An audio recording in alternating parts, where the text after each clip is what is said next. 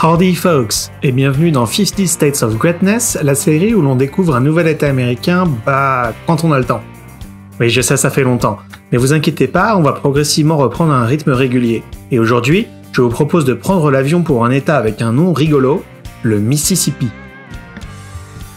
Et parfois, on utilise le Mississippi pour compter. Ah ouais, c'est pas facile de compter, je pourrais compter trop vite, 1, 2, 3, 4, ou trop lentement, 1, 2, 3. Vous voyez, c'est pas facile de garder la cadence sur la seconde. Et les mots en quatre syllabes sont très utiles pour pouvoir garder une cadence d'une seconde comme ça. Et Mississippi, c'est un mot qui est très facile à prononcer pour beaucoup d'enfants américains. C'est pour ça que le Mississippi est utilisé pour compter, par exemple pour jouer à cache-cache.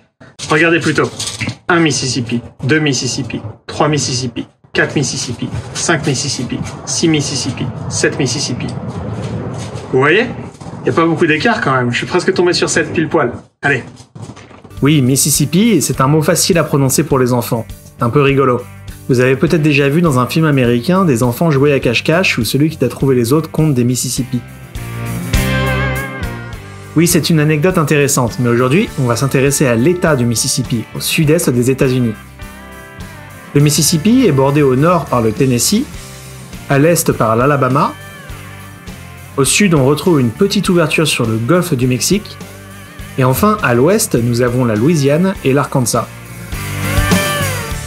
À l'ouest d'ailleurs, la frontière est définie par la rivière Mississippi. C'est pour ça que c'est un peu tordu comme ça. Mais vous inquiétez pas, on va en reparler un peu plus loin dans la vidéo. La plus grande ville de l'État est également la capitale, Jackson, avec ses 500 000 habitants, si l'on compte toute sa banlieue. La capitale a été nommée après Andrew Jackson, afin d'honorer une de ses victoires militaires en tant que général. Le truc, c'est qu'à l'époque, il faut croire que la République était trop jeune pour aller chercher des héros du passé, et Jackson était encore vivant lors du baptême de la ville. D'ailleurs, il servira comme septième président des États-Unis 8 ans après la création de la capitale du Mississippi. La deuxième plus grande ville est Gulfport, le port du Golfe, qui, comme vous vous en doutez, se trouve sur les côtes du golfe du Mexique.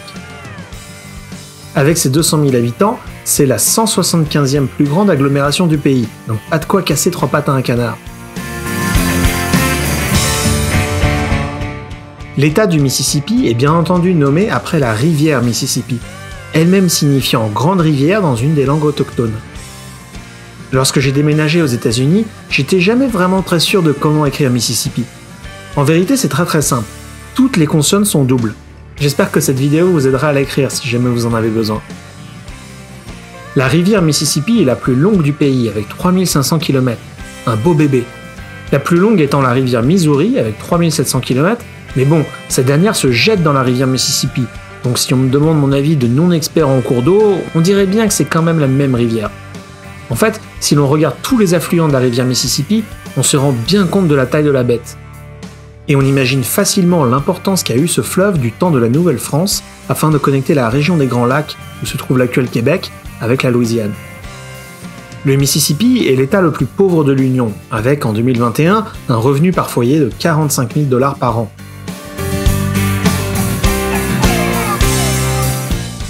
Les premiers Européens à s'installer dans le Mississippi étaient français et fondèrent la ville de Fort Maurepas, sur les côtes du golfe du Mexique en 1699. À partir de là, le territoire sera partagé entre les Français, les Espagnols et les Britanniques, comme c'était souvent le cas dans ces États du Sud si vous suivez la série.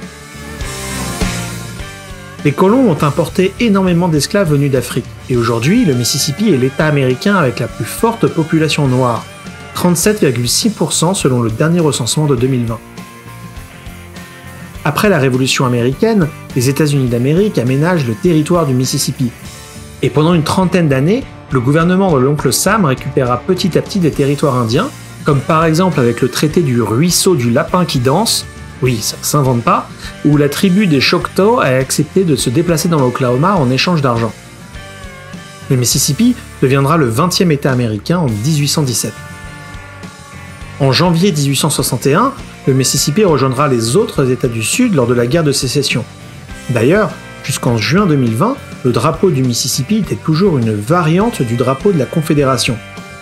Voici le drapeau actuel que vous voyez à l'écran, et moins perturbant pour les plus facilement offensables d'entre nous.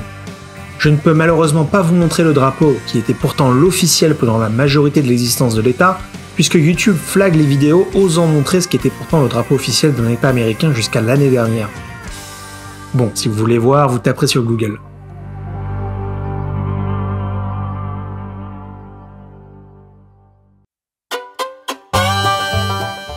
Si vous êtes de passage dans le Mississippi, je ne vais pas vous mentir, vous n'y retrouverez pas les destinations les plus attractives du pays. Il y a cependant des attractions notables, comme par exemple la maison où est né Elvis Presley. Le site propose également un musée où vous aurez l'occasion d'en apprendre plus sur la jeunesse du King. Non loin, vous retrouverez les Wynn Windsor, seul reste d'un incendie qui a ravagé une plantation. Il ne reste aujourd'hui que 29 colonnes, et je sais pas vous, mais moi quand je vois ça avec la végétation autour, j'ai l'impression de nous retrouver sur un site de la Grèce antique. Tout au sud de l'État, vous retrouverez les plages du golfe du Mexique, comme ici à Biloxi Beach et ses plages de sable fin qui n'ont rien à envier à la Floride. Je me doute que si vous êtes de passage dans le Mississippi, c'est sans doute que vous êtes en train de voyager entre la Floride et le Texas. En tout cas, n'hésitez pas à me raconter votre expérience dans les commentaires, laissez un like pour aider la chaîne sur YouTube, inscrivez-vous si c'est pas déjà fait. D'ailleurs, on a déjà traité beaucoup d'états, donc retrouvez le lien en description pour être sûr de ne pas en avoir manqué. Vous êtes sur The American Dream, God bless America.